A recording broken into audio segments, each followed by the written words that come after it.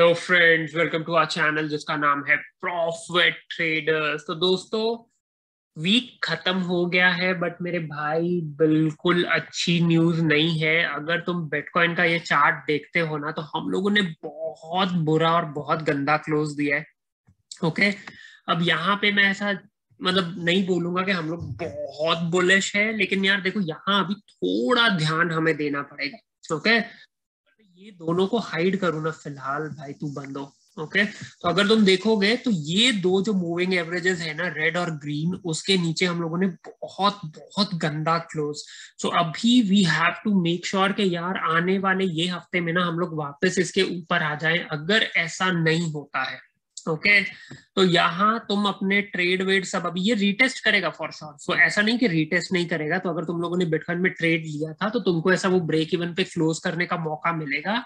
But ज़्यादा लालची मत होना, क्योंकि यहाँ से अगर बिटकॉइन गिरा ना सो मैं तुम्हें वही बताता हूँ, अब यहाँ से अगर बिटकॉइन गिरा तो वापस छत्तीस और मे बी उसके नीचे भी आए, बत्तीस तक. ओके? अब ऐसा क्यों? बत्तीस तक क्यों आएगा? वो समझो। अगर तुम ये देखते हो ना, हमारा आर एस आई प्राइस अगर यहाँ आता है but R S I sideways ही जाता है तो ये हो जाएगा एक बुलिश डाइवर्जेंस और वो बिटकॉइन को वापस ऊपर की तरफ़ ले जाएगा। Okay so long term investors के लिए कुछ फ़र्क नहीं पड़ता है, क्योंकि हमें तो भैया हर डिप में बाय करना है।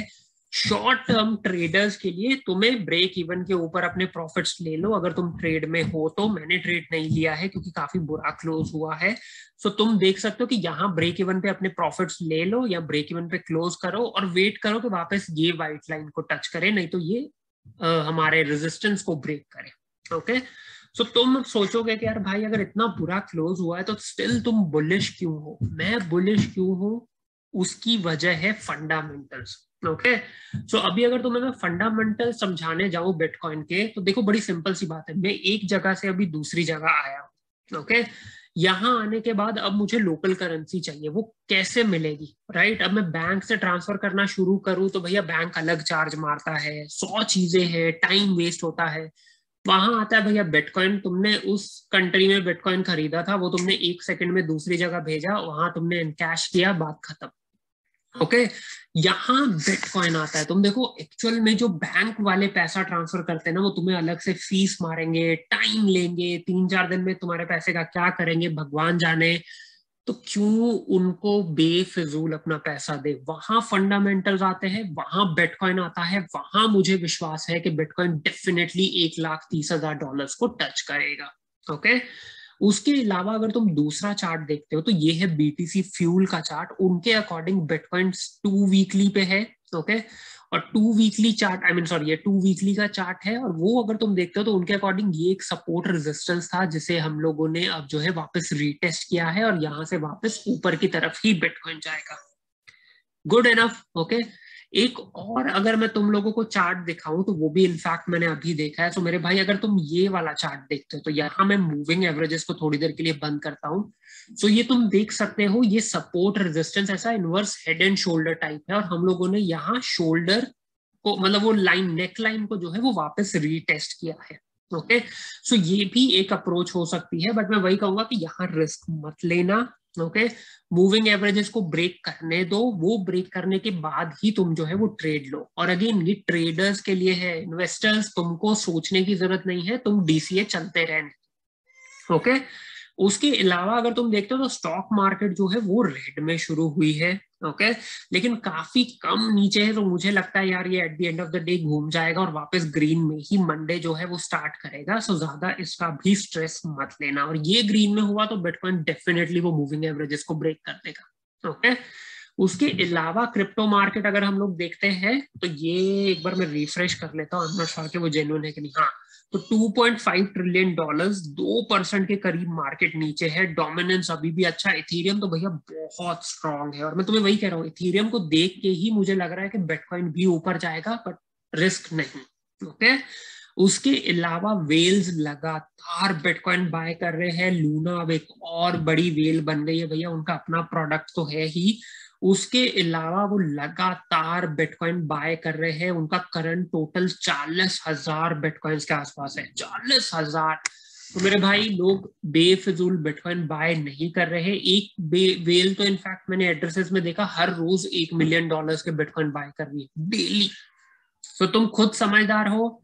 तुम्हें खुद समझ में आ रहा है कि फंडामेंटल्स कहाँ जा रहे हैं और प्राइस उसको डेफिनेटली फॉलो करेगा। सो बिल्कुल टेंशन नहीं। ओके उसके अलावा मार्केट जो है वो थोड़ी बुरी ही है और अगेन वो बिटकॉइन की वजह से थोड़े से कॉइन्स है जो इनफैक्ट ग्रीन में है, ये फालतू point six point six percent Doge ढाई परसेंट और मेरे भाई, ये आदमी रुकने वाला नहीं है।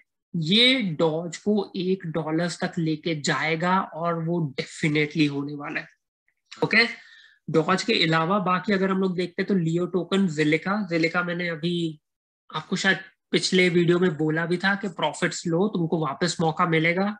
और मेरे भाई, देखो 20 सेंट्स पे अगर तुमने बेचा था तो आज वापस एक परफेक्ट बाइंग अपॉर्चुनिटी है और तुम्हारा जिलिका ऑलमोस्ट डबल हो जाएगा ऑलमोस्ट डबल सो क्रिप्टो में ना, ये एक चीज़ तुम्हें हमेशा समझनी है। ऑल्ट कॉइन्स में उनके ऑल टाइम हाईएस्ट पे प्रॉफिट्स लो। हो सकता है कि तुम्हें टॉप भी तुम बेचो हो सकता है कि यार वो एक अच्छी अपॉर्चुनिटी थी जो मिस हो जाए।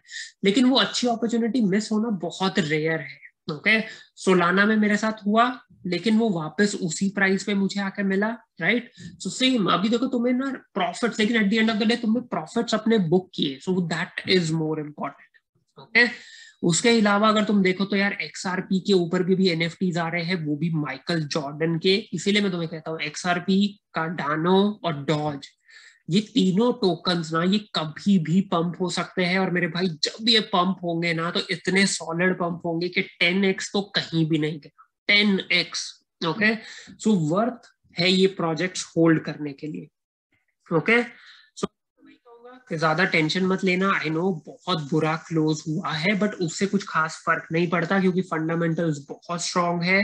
और कहीं अगर हम लोगों ने ये घुमा दिया ट्रेंड और ये वापस स्टॉक मार्केट जो है वो ग्रीन में चली गई तो मेरे भाई बिटकॉइन रुकने वाला नहीं है। Okay okay? और मैं वही कहूँगा, कोई भी सवाल रहे तो बिंदास कमेंट करो, कोई भी टोकन रहे जिसका एनालिसिस तुम्हें चाहिए तो बिंदास बताओ यार, हम हमेशा है यहाँ तुम्हारी सेवा के लिए। Okay okay? तो चलिए मेरे दोस्तों, आज के वीडियो में बस इतना ही। वीडियो पसंद आई है तो लाइक करो चैनल को सब्सक्राइब करो, तुमसे कल मुलाकात होगी। Thank you so much